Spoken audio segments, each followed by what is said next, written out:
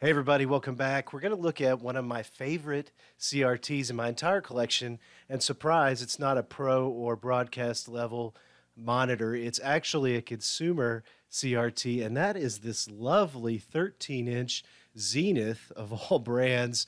Uh, consumer television. Now, it's easy to see why this is one of my favorite televisions. Not only is it a translucent CRT, uh, but it also has a really cool color scheme. It's just a simple Orion CRT tube inside, and it doesn't support a lot of different video inputs or anything. It's pretty simple. And you will see some of other models of this Zenith television. There's a full black normal version, which is not very exciting, uh, but this version is kind of a hybrid between that all black standard boring version and then another version which was marketed to a specialty uh, market, and that is the all clear prison or jail televisions. And those were made completely see through and clear so that obviously no one could hide any contraband or uh, illegal materials, weapons inside. And then the other thing is, is you couldn't easily get inside those TVs. They also tended to not even include a single speaker on them.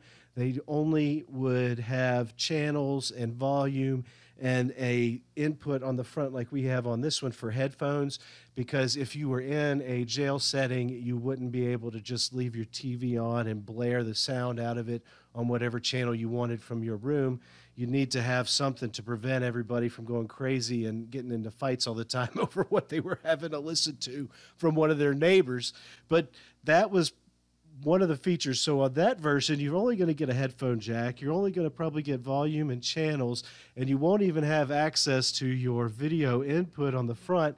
Now, this design again used tons of the parts and design from that uh, jail model. It only has one speaker in it, a nice mono audio speaker.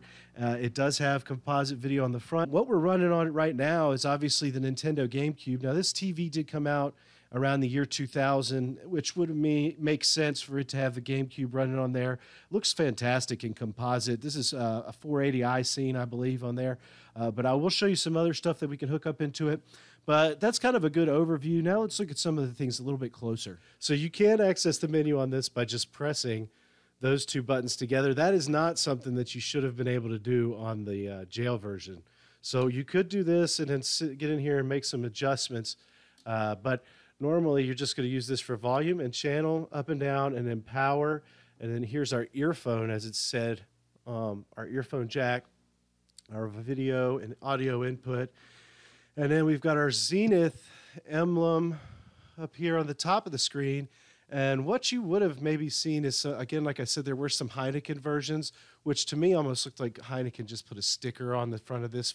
Maybe they bought like a pallet of these and just decided to throw either a sticker or maybe have uh, them all engraved with Heineken. And that way they could make it kind of a collector's item because it does match a Heineken perfectly. And it also matches, you know, jungle, uh, jungle green N64 and, and even like a see through Xbox or something. There's just a look at the shape of the shell. Nice rounded shell. And then we've got lots of air holes for breathing on the sides and then on the back bottom portion.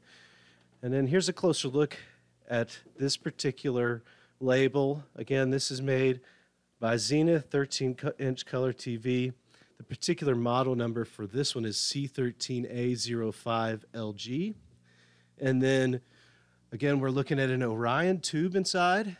And uh, this one was made in August of 2000. Now, if we look down at the bottom, I'll show you just the only thing we've got there is an antenna or RF input, which I will show you in a second. We're going to hook up an RF console in here just so you could see how that looks.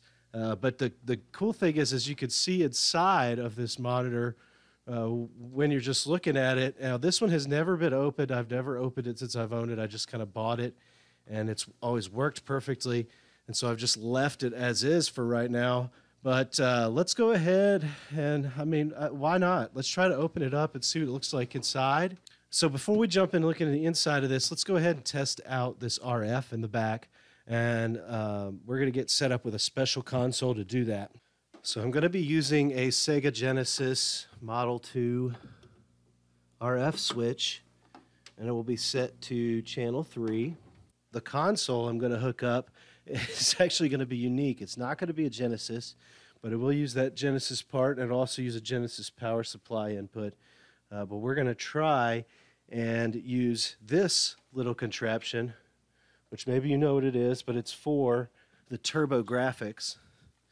And what it does is it, it gives you RGB out, but the funny thing is you can also use it just to get something like RF out for the NEC TurboGrafx. All right, folks, there we have it. This is RF. You will notice a little bit of snow if you look at it, but it has a pretty darn good clear picture for RF. There's a, a little bit of convergence separation, but it's not it's not the worst RF signal. Definitely usable. However, the composite is an upgrade, but it definitely works, and uh, it gives you an option on this television to have something to always test RF signals and give you a pretty good picture if the RF signal is is quality. But still, you know, preferably you want to use composite.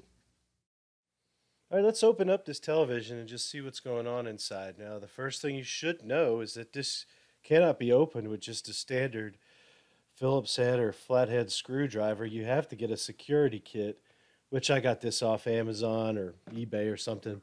And uh, you need a six pointed uh, specialty security bolt. I, I'm sure there's a name for this six point pattern, but you need that to get inside here. And the funny thing is, is that's part of the design that this TV took from the prison version, and that way that would not be easy to get into if you were using this in jail. But again, this version would have not been approved for use in jail because it's green. It had to be fully clear plastic.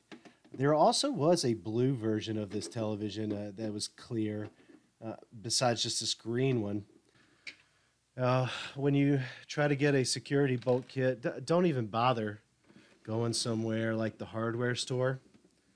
Uh, they kind of wasting your time. They, they usually don't carry stuff like this, or at least the ones near me. Funny story when I went and tried to get this security kit. I, I, thought maybe I could just go down to the hardware store and get one there. And it's a pretty big store that everybody knows. It's it's a you know major store. I'm not afraid to name them. It was Lowe's in my gal- my hometown. So I went in there and I went into the uh, screwdriver section and I asked the gentleman working in there if he had ever if they sold any security bolt kits like the one I'm using here today or needed. And uh, I was really surprised because he, he started looking at me really funny and got this, again, smug kind of like look on his face. And he, he asked me, he said, what, what, are you, what are you doing?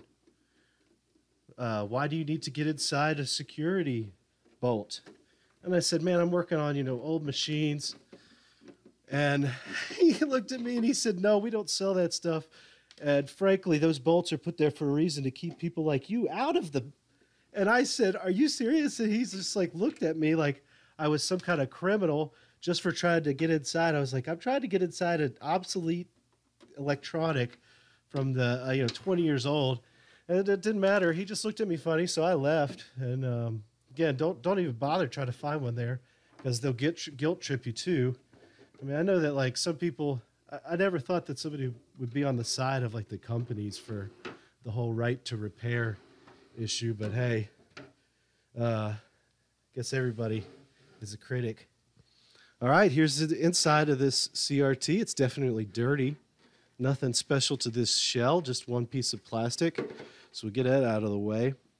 And if we look in here, uh, we got, again, our Orion picture tube. Just a simple degaussing strap around it. And a very simple design. We got a, a pretty standard yoke here. It's a pretty solid tube that Orion made back in the day for at least this size. We have our speaker down here, our mono speaker. And then here's our neck board. There is, I mean, that does have a nice convergence ring set up, so that's pretty impressive. And no adjustments available or really much components at all. Uh, just a couple of things for the color drives right there. The rest of the stuff is pretty darn simple. So we could go in here. We'll probably recap this pretty soon. Definitely clean it off because there's only about less than 20 caps in here. Maybe maybe a little bit more. There's some smaller ones up front towards the chroma chip. So the one thing that I may be interested in, I'm not really interested in in modding this television as much as uh, unless there's something built into it that you can just simply unlock. Uh, I definitely don't want to do anything that would cut the plastic or uh, do any kind of mod that would damage anything or just be destructive in any way. So what I want to do is um, keep it to where it's mostly original. Now you notice how the circuit board has a you notice how the circuit board has a cutout down here? Well, guess what? It's the exact same size as the neck board. That's a way these companies would save money. They'd print one giant circuit board and then they'd cut that section out after they built it. And it would be, again, used as a neck board. So you'd save a little bit of your manufacturing costs rather than making two separate boards. You make one large board and pop it out. But that's pretty much it for this one. Not a whole lot going on um, inside, but still a solid little television. Here's one last look at the CRT running in RF again. So I, I just kind of blown away by how good that picture is for RF. Uh, I again do not anticipate a mod for this. Maybe S video, depending on the video chip on the uh, main board. But to be honest with you, there's not a whole lot of extra you can probably get out of a television like this.